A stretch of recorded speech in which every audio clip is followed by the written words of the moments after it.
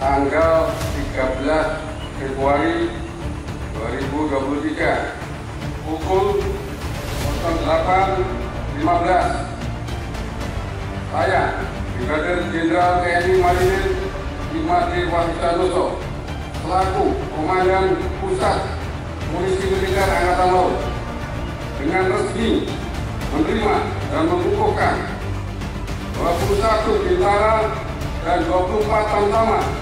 menjadi Bintara dan Tamtama Ops Polisi Militer Angkatan Laut.